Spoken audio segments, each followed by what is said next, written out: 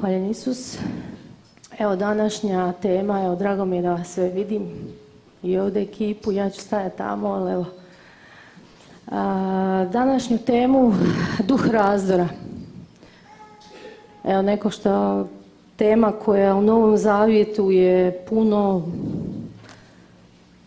po meni ljepše, finije objašnjena, a nekako čini mi se da je u starom zavjetu bolje slikovita. Pa sam evo uzela baš stari zavjet. Možda ćemo biti malo teže pratiti, ali nije toliko teško. Kratke sam isječke stavljala da možemo to vrlo jasno razumjeti, da ne treba puno objašnjavati. Krko. Ti mi pokazuj na sat, dobro? Znači, evo, krenut ćemo sa Gideonom.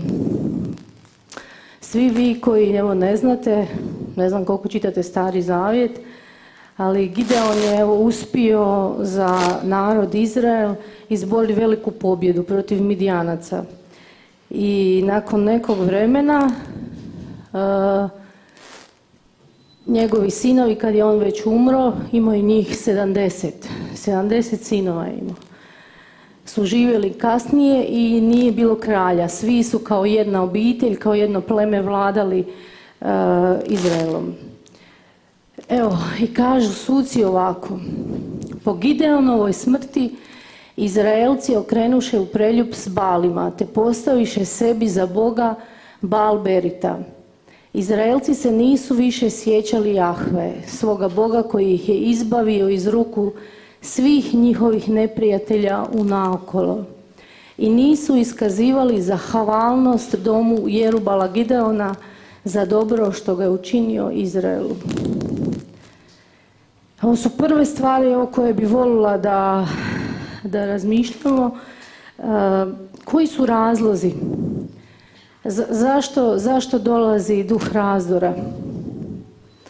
Kad gledate neko je izvojevao jednu veliku pobjedu, jedna obitelj, e, taj se čovjek puno borio sa strahom, puno tražio je e, potvrda od Boga da, da, li da ide u boj ili da ne ide u boj. Na kraju je otišao i uspio je pobijediti i oslobodio je cijeli jedan narod. I sad nakon nekog vremena vidimo tri stvari iz ovoga, ja sam ih pocrnila. Postavili su sebi drugoga Boga. Znači, nakon nekog vremena zaboravili su na Jahvu, zaboravili su da je uh, im Bog darovao pobjedu i postavili su sebi drugoga Boga. I sad sam se ja pitala, čovječe, koliko smo mi pobjeda izvojevali pomoću Boga. A drugu stvar kaže, više se nisu sjećali koliko im je pobjeda uh, i, koliko ih je izbavio iz ruku njihovih neprijatelja u naokolo. Jedan od drugog znači prvi razlog bi bio, ok, postavio si sebi u svoje srce nekog drugog Boga osim Isusa Krista. Sad kad razmišljamo koji su to drugi bogovi, koji su to bali, Evo, mislim, bogovima nam mogu biti sve i svašta. Šta god okrenemo i možda još nekako lakše razmišljati, ajde, nek ti je to novac, nek ti je to auto, nek je nešto šta ti je bitno. Znam kad muškarci peru te aute, pa malo počnu žene moliti, pa ono, bum. Pa ono, bum, neka nesreća, auto skroz uništeno. Pokazuje se šta ti je u srcu, šta ti je najbitnije. Evo, volila bi da razmišljamo šta, nam, šta je to u našim srcima, koji su to bogovi koje smo mi zakraljili umjesto Krista. Možda to nije bogatstvo materijalno. Možda je to vlast, moć, pozicija. Možda su to naši poslovi. A možda su to ljudi. Možda su to čak naša djeca ili naši muževi. Možda smo svoga muža stavili ispred Boga. To je vrlo lagodno, vrlo lako nam se to dogodi. da su nam djeca najbitnija, da nam je muž bitniji od Boga. Bez obzira šta Bog kaže po nekoj zapovjedi, jel ti ćeš ipak poslušati muža. Nema veze što te to vodi u grijeh. Šta ti to govori? Govori ti da ti je muž na tvom srcu, da ti imaš krivu navezanost, da je on postao tvoj Bog. Ne možemo sjediti na dvije stolice. Ili slušaš jednoga ili drugoga. I vrlo, vrlo je nezgodno i vrlo nam se lako nekako u srce ureže to da nam ljudi, da nam stvari, da nam, ne znam, e, moć, pozicija, da nam bude bitnija od samog Boga i od onoga šta Bog zapravo kaže. Treća stvar koja je meni vrlo zanimljiva zašto dolazi duh razdora, nisu iskazivali zahvalnost domu Jerubala Gideona za dobro što ga je učinio Izraelu. Čovječe, nezahvalnost Bogu i nezahvalnost čovjeku. Ne da je potrebna njemu bila zahvalnost, ali potrebna je meni. Da se ja ne bi uzoholila. Meni je potrebno da ja vama budem zahvalna za sve ono što je gospodin kroz vas učinio za mene. Meni je potrebno. Nije ni Bogu potrebna moja zahvala ali meni je potrebno da budem ja svjesna da trebam biti zahvalna, jer to mene čini boljom. A i ponekad zaboravljamo, evo, možda svi ste doživjeli nekakve milosti kroz ljude, sto posto. Kroz svećenike, na različite načine ste doživjeli sigurno milosti za koje ste bili ekstra zahvalni. Evo, sjetite se tih milosti. Kako ste gledali te ljude preko kojih i svjesni ste da vam je Bog dao milost, nisu ljudi naravno. Ali kako ipak gledate te ljude? I kako se ponašate prema tim ljudima? Pa drago ti je da ga vidiš čovječe, pa zahvaljuješ, ma di si, super. Tom čovjeku nekako drugačiji imaš drugačiji odnos, jer si zahvalan. I nije njemu potrebno, on ima plaću na nebu. Ali zahvalan si što je taj čovjek jednog dana rekao da Bogu. Svaki svećenik mogu reći ne. Jel mogu? Je. Mogu je posustat. Ali isto je rekao da. Isto je pretrpio puno možda neprospavanih noći, puno problema, puno uh, uh, bitki je prošao. Mogu je odustati i reći ne. Ali ipak je rekao da. Tako da evo, koliko razmišljamo, koliko se sjećamo milosti koje nam je gospodin dao. Koliko bdijemo nad svojim srcem šta nam se potkralo. Koliko gledamo u sebe. Evo neka pitanja. Idemo dalje, nećemo stići. Evo dalje, kaže ovako, Abimelek sin je Rubalov, otiđe u Šekem braći svoje matere i reče njima i svemu rodu kuće svoje majke. Upitajte sve šekemske građane što vam je bolje, da nad vama vlada 70 ljudi, svi sinovi Jerubalovi ili jedan čovjek. Sjetite se da sam ja od vašeg mesa i vaših kostiju. To braća njegove matere prenesuše ostalim šekemskim građanima i njihovo se srce prikloni Abimeleku jer govora naš je brat.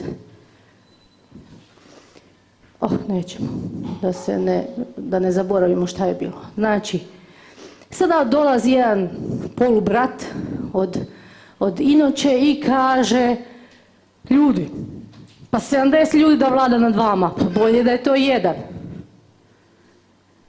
Ali on nije bio prvorođenac da, da vlada. On nije bio taj kojega Bog želi da vlada nad njima.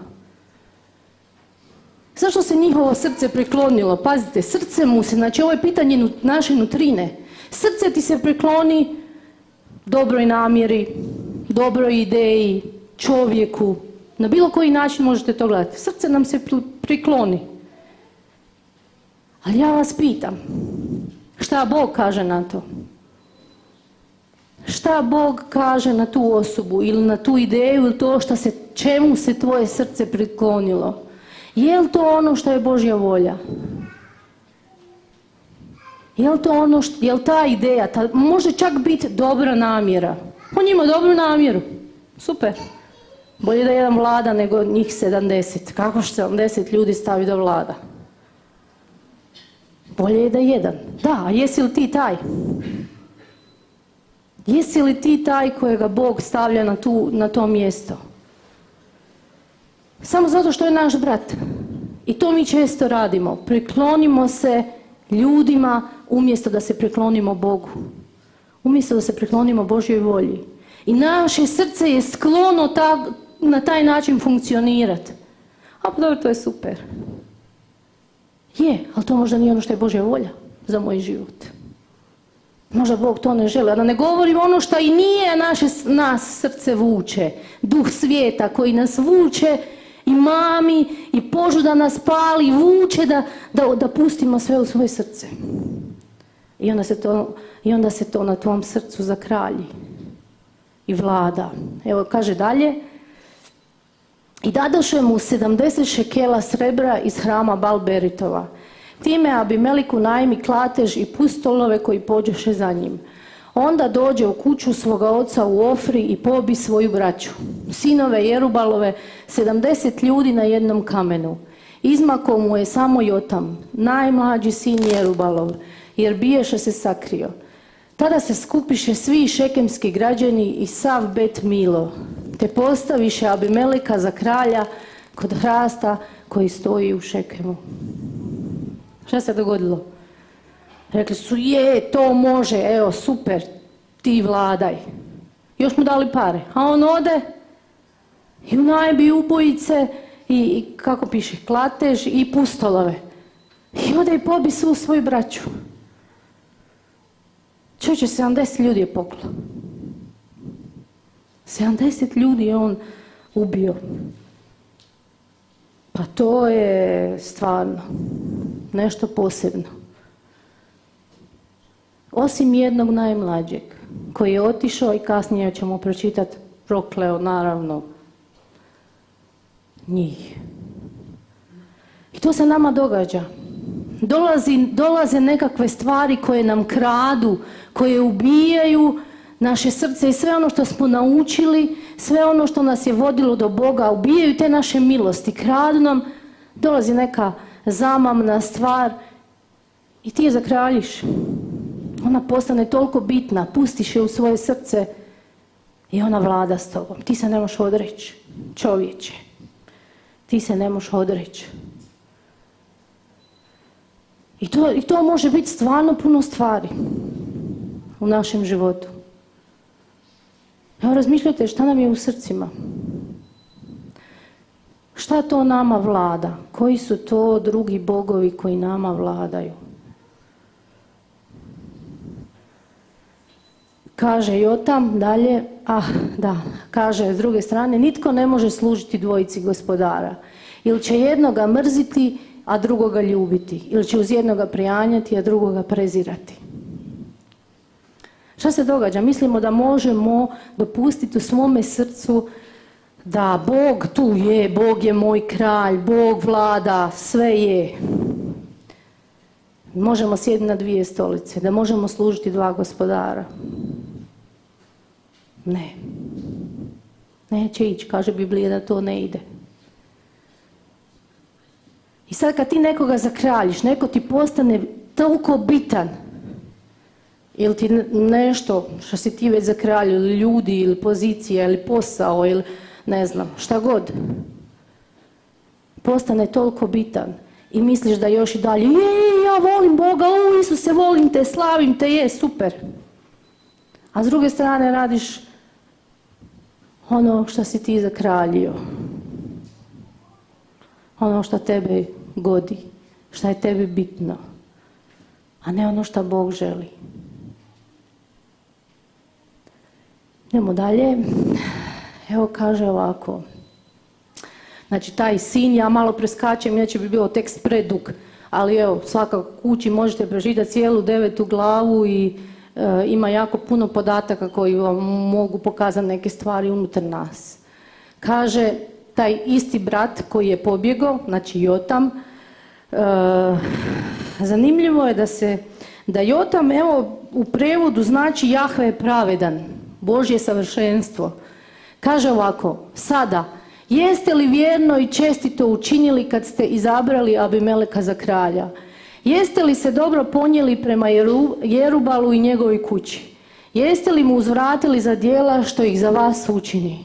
Moj se otac za vas borio izloživši svoj život te vas izbavio iz ruku midjanaca. A vi danas usta ste protiv kuće moga oca, pobiste njegove sinove, sedamdeset ljudi na istom kamenu i nad građanima Šekema učiniste kraljem Abimeleka, sina njegove robinje, zato što je vaš brat. Ako ste vjerno i pošteno danas radili prema Jerubalu i prema njegovoj kući, radujte se s Abimelekom, a on neka se raduje s vama. Ako niste, neka oganj iziđe iz Abimeleka i sažeže građane Šekema i Bet Mila i neka iziđe oganj iz građana Šekema i Bet Mila i sažeže Abimeleka.